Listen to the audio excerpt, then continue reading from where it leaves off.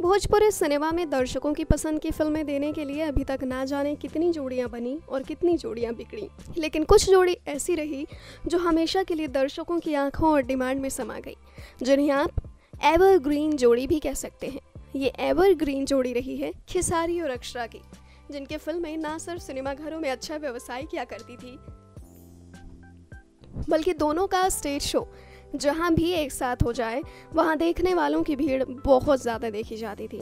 जानकारों के लिए बता दें कि दोनों की जोड़ी के स्टेज शो को देखने के लिए ऑर्गेनाइज़र को बड़ा फ़ायदा पहुँचता था, क्योंकि लोग ज़्यादा पैसे देने को तैयार होते थे, लेकिन अक्षरा खेसारी का स्टेज शो हर हाल में देखना चाहते थे।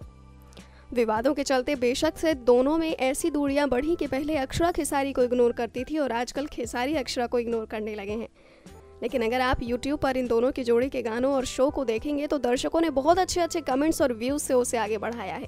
एक पल के लिए दोनों की जोड़ी के फैंस को खुशी तब मिली जब खबर ये आई कि बबुआ बवाली में खेसारी के साथ अक्षरा दिखाई देंगी।